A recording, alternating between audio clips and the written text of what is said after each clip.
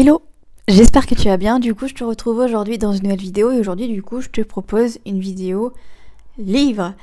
Et du coup aujourd'hui je vais te proposer trois livres, un digital et deux livres que j'ai physiquement à côté de moi. Je vais te dire un petit peu mon avis sur ces trois livres, le résumé, et je vais surtout essayer de pas te spoiler. Voilà. On y va? C'est parti.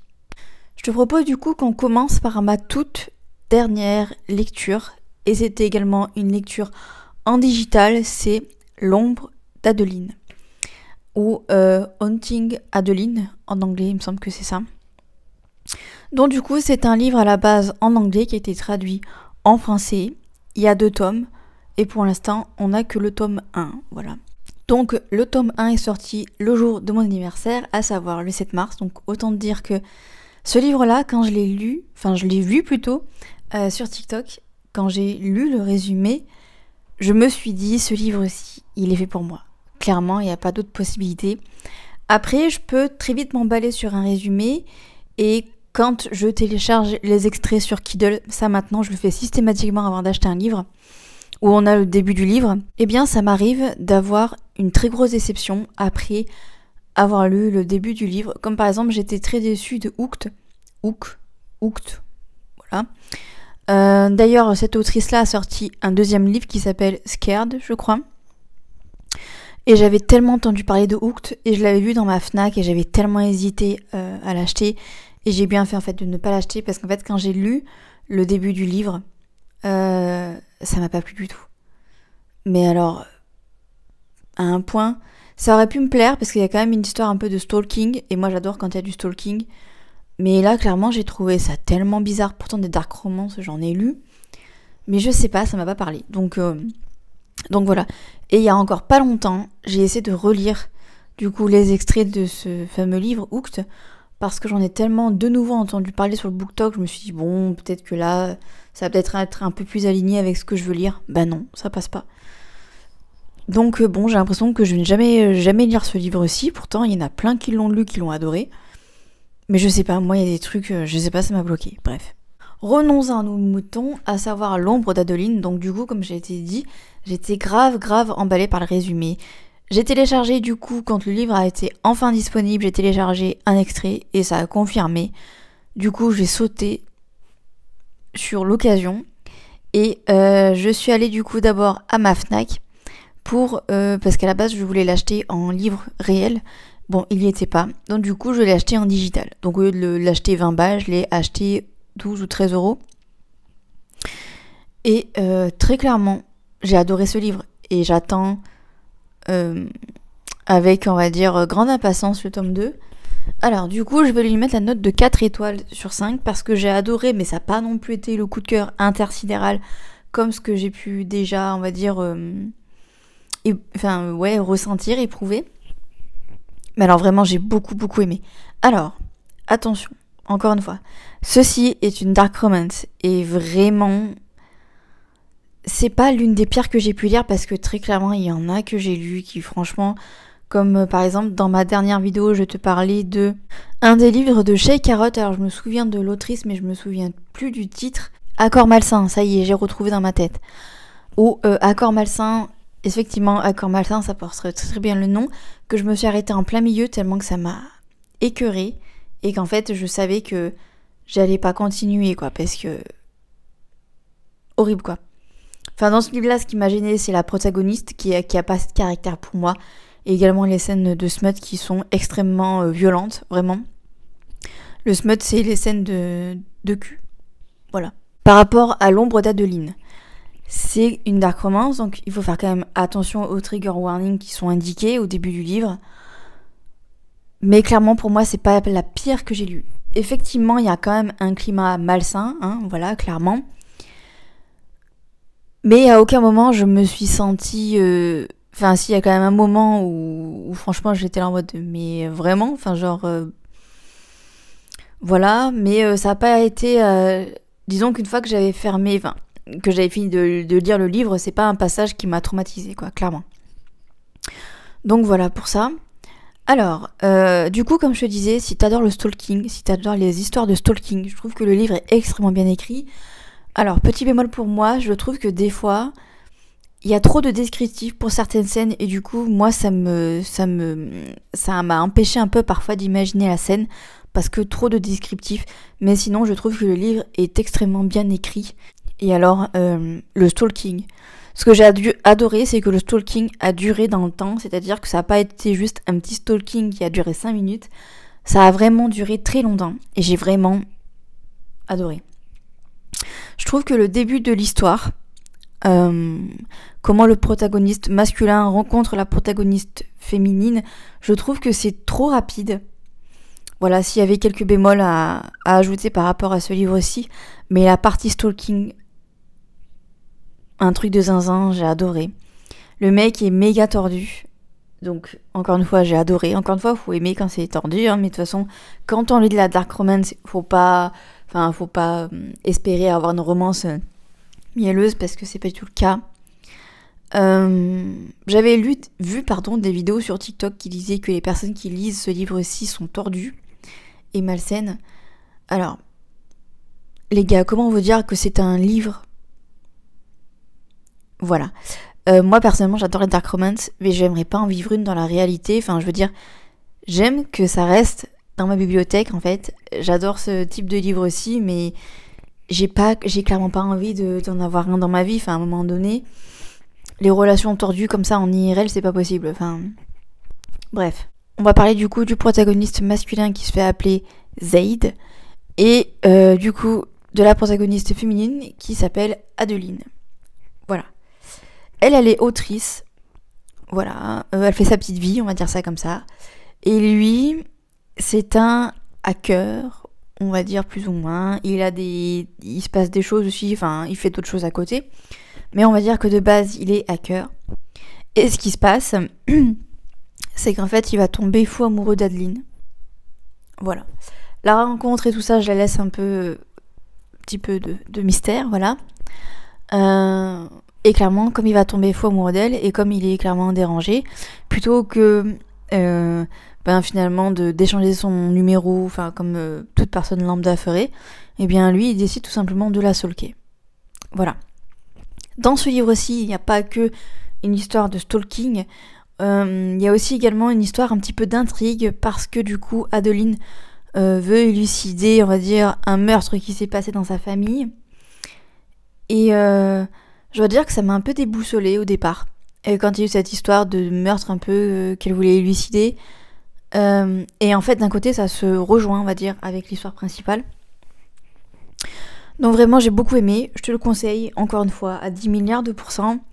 Là, ce qui est un petit peu embêtant, c'est qu'il n'y a que le tome 1 qui est sorti et j'espère avoir très bientôt une date au moins de sortie pour le tome 2. Euh, alors, la fin du tome 1, je dois dire que pour moi, ben, en fait, je l'ai senti pratiquement dès le départ du livre, en fait pas dès le départ, mais je dirais euh, vers le début. Voilà, quand on pose le cadre du livre, j'ai directement senti comment le tome 1 allait se finir, surtout quand on sait qu'il y a deux tomes. Voilà. Donc je savais très bien comment le tome 1 allait euh, plus ou moins se terminer, et j'ai clairement eu raison. Donc voilà, il n'y a pas de plot twist, de malade dans ce, dans ce livre, mais l'histoire en elle-même, vraiment, j'ai adoré. Voilà pour ce premier livre. Ensuite, du coup, euh, je t'en ai brièvement parlé dans une vidéo tranche de vie où je te disais que je m'étais remis à la lecture et que du coup ben, j'avais continué The Devilson, le fameux tome 3.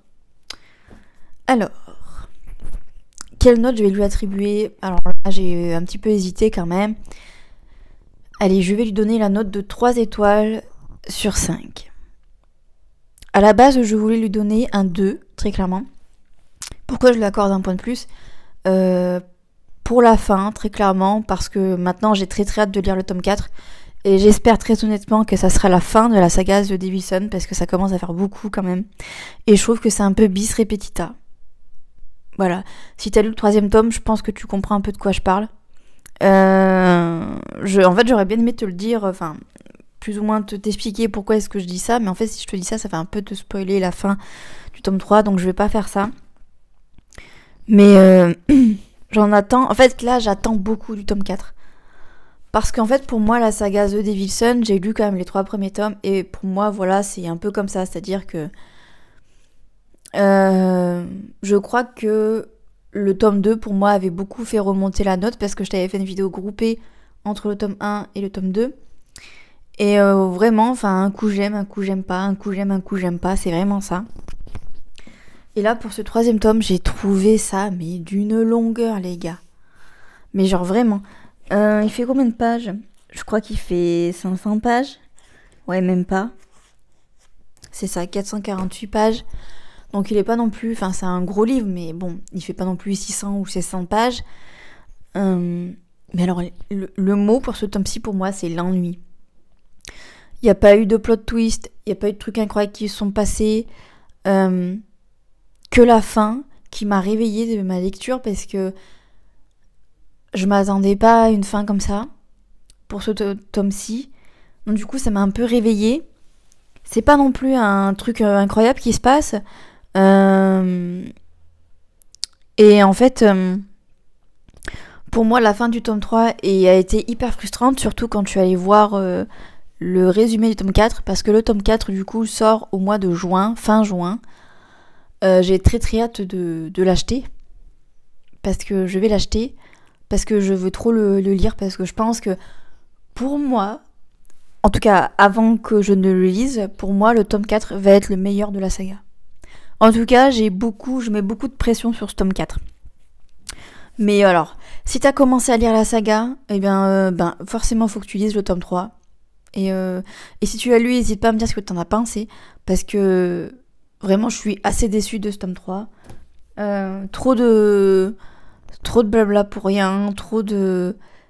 Pour moi, ouais, j'ai eu l'impression d'avoir déjà vu surtout la scène de fin, la toute fin.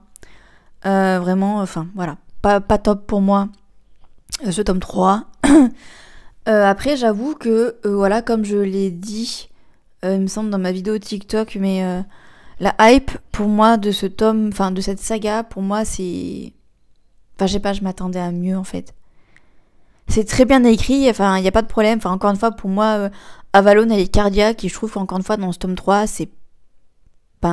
Moi, je la vois tellement malade, et en fait, j'ai pas l'impression qu'elle est si malade que ça. Enfin, euh, mais euh, c'est comment dire? Enfin, c'est bien écrit. Enfin, l'autrice est compétente, il y a pas de souci. Mais je sais pas, euh, la saga en elle-même, je m'attendais à mieux. Je sais pas, je m'attendais à plus de bastons, je m'attendais à, à moins de sentimental en fait. Clair que pour moi, dans ce tome 3, on l'a clairement perdu, littéralement. Enfin, brun, ténébreux, mystérieux, très renfermé sur lui-même. Là, le mec, il est in love et euh, il parle euh, limite, euh, j'ai l'impression de, quand il y avait ses points de vue à lui, j'avais l'impression d'entendre du Edith Piaf en fond avec La vie en rose. Enfin bon, ah. non, ce tome 3 vraiment, il m'a déçu. Je m'attendais à mieux. Voilà. voilà un petit peu ce que je pouvais dire sur du coup The Devilson, le tome 3. Et comme tu auras pu euh, le constater, j'ai très très hâte d'avoir le tome 4 dans mes mains pour le lire et j'ai énormément d'attentes sur le prochain tome. Et enfin, on va passer au dernier livre de cette vidéo et pas des moindres puisque c'est mon chouchou intersidéral. Voilà. Lexton. Alors, euh, si tu me suis sur Instagram, tout ça, tout ça, tu sais que Lexton et moi, c'est un énorme coup de cœur, un énorme coup de foudre. Donc, je ne peux que lui donner la note de 5 sur 5. C'est une brique, comme dit euh, l'autrice Sarah Rivens, puisqu'il fait 800 pages, messieurs, dames. Quel chef-d'œuvre. Euh, j'ai presque envie de dire merci à Sarah Rivens d'exister parce que vraiment elle nous pond de ses œuvres. Elle a fait Captive, elle a fait Lexstone. Euh, et on voit tellement la différence d'écriture entre Captive et Lexstone. Et Lexstone est tellement mieux écrit que Captive. Et en fait, j'avais un coup de cœur pour Captive. Et euh, Lexton passe clairement au-dessus de Captive. Cette histoire, vraiment, elle est dinguissime. Vraiment. Hum. du coup, c'est le tome 1. Voilà, ça y est, il est sorti. À la base, il était sur Wattpad, donc tu ne peux plus le trouver sur Wattpad. Elle est actuellement encore sur l'écriture du tome 2, euh, sur Wattpad encore. Elle a promis de finir le tome 2 sur Wattpad. Donc j'espère qu'elle va réussir à le finir parce que là je dois vous avouer qu'au moment où je fais cette vidéo, on est le 11 mars Et euh, ça fait plusieurs mois qu'elle n'a plus posté de chapitre, ce qui est encore une fois hyper frustrant en tant que lecteur. Surtout comment se termine le chapitre. Je crois qu'on est au chapitre 23 actuellement. Euh, autant vous dire que j'avais presque envie de, de scroller à une vitesse phénoménale quand j'ai compris comment le chapitre allait se finir. J'avais trop envie d'avoir le, enfin, le prochain chapitre. Et ça fait tellement de mois qu'on l'attend. Je crois qu'elle n'a pas publié depuis le mois de novembre ou octobre. Donc euh, là, ça commence à faire vraiment long. Et euh, j'ai l'impression qu'il y a de plus en plus de gens qui sont en train de se détacher de l'histoire et c'est tellement dommage. Mais quand on attend aussi longtemps, c'est tellement frustrant. Et euh, j'imagine pas les gens qui ont découvert ce tome 1, surtout vu comment la fin est. On a tellement besoin d'avoir au moins le début du tome 2 en fait pour savoir qu'est-ce qui se passe. Et moi j'ai de la chance, c'est que voilà, j'ai pu lire les, les 22 euh, ou 23 euh, chapitres du tome 2, donc je sais comment ça commence, on va dire. Mais je, je, pense très fort à ceux qui n'ont pas eu la chance de le lire sur euh, Wattpad. vraiment, l'attente il va être tellement dure parce que Sarah du coup, comme je disais, n'a pas fini du coup le tome 2 sur Wattpad, donc on n'a clairement pas une date de sortie pour le tome 2. les gens qui s'amusent à dire qu'il y a une date de sortie, c'est faux, archi faux. Euh, parce que voilà, elle l'a clairement pas bouqué, donc euh, enfin, elle l'a clairement pas fini, donc euh, c'est clairement pas possible. Voilà, bref. Donc du coup, pour l'histoire du coup, on va suivre d'un côté Kai du coup qui est un mercenaire monstrueux. Voilà comment je pourrais le décrire, mais vraiment monstrueux. Et de l'autre, on a Iris du coup, et leurs deux vont rentrer en collision parce que en fait le géniteur de Iris, eh bien, doit énormément d'argent et il se sert, on va dire, euh, de, du compte bancaire de Iris, parce que Iris n'est absolument pas au courant de ce qui se passe, on va dire, pour euh, faire des bails un peu bizarres avec de l'argent. Et euh, du coup, Kai va être mentionné par l'organisation pour ben, retrouver cet argent et voir du coup si Iris n'est pas au courant de certaines choses. Et euh, du coup, ben, lui, il va devoir, euh, on va dire, découvrir euh, Iris en la stalkant, entre autres, en allant chez elle, enfin, bref, en faisant des trucs un peu bizarres. Et il va finir par s'attacher de trop à Iris et entre autres développer des sentiments. Enfin bon bref, ils vont finir par se rencontrer, il va se passer plein de choses, mais vraiment, mais rocambolesques vraiment. Et alors, pour décrire un peu plus, c'est un ennemi to voilà on va dire ça comme ça. Euh, euh, il y a beaucoup de violence dans ce livre, c'est une dark romance également. Et surtout, ce qui est euh, très marquant dans ce livre, c'est le slow burn. Donc le slow burn, c'est quand les deux protagonistes de l'histoire mettent énormément de temps à développer une romance, on va dire. Clairement oui. Voilà, clairement oui. Il y a énormément de tension tout le long du livre. Il y a beaucoup de fleurs et tout ça. Mais voilà, pour passer à l'étape supérieure, vous voyez Vous voyez. Donc euh, c'est ultra prenant comme lecture. Euh, littéralement la brique, hein, voilà, euh, on la lit mais très rapidement parce que c'est addictif. Voilà. la façon de comment Sarah écrit, c'est addictif. Les actions, tous les personnages secondaires, Jacob. Jacob, il est incroyable, Jacob.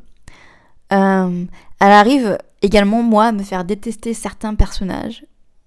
Euh, enfin bon. Voilà. Euh, incroyable. Vraiment. je te le conseille encore une fois, si t'aimes les Dark Romance, si t'aimes les, les mercenaires. Pour moi, c'est pas une histoire, une énième histoire de mercenaires qui tombent amoureux de, de la meuf qui kidnappe, ou tu sais, des histoires un peu comme ça, on en lit pour moi, c'est au-dessus de ça, parce que moi, au départ, quand j'avais lu le résumé, j'étais là. voilà. Et à l'arrivée, j'ai eu un méga coup de cœur. Voilà. Voilà pour mes lectures. L'Extone, je le conseille à 10 milliards de pourcents. Et de toute façon, comme j'ai dit, je suis une vendue. Voilà, j'ai un, S. Enfin, j'ai un serpent, pardon, sur ma main. Et le serpent, c'est l'emblème littéralement de, de Kyle Exton. D'où le nom du livre, du coup, Kyle Exton. Et eh bien voilà, cette vidéo est terminée. J'espère que cette vidéo t'aura plu. J'espère qu'elle t'aura aidé également. Euh, n'hésite pas à me dire si tu as craqué ou si tu as déjà craqué sur un de ces livres-ci. Et moi, je te dis peut-être à mardi 18h pour une prochaine vidéo sur cette chaîne. Tranche de vie Peut-être. Mais en tout cas, ce qui est sûr, c'est qu'on se retrouve jeudi pour une nouvelle vidéo sur la chaîne. Je te fais des bisous. Je te souhaite une bonne nuit. Bye.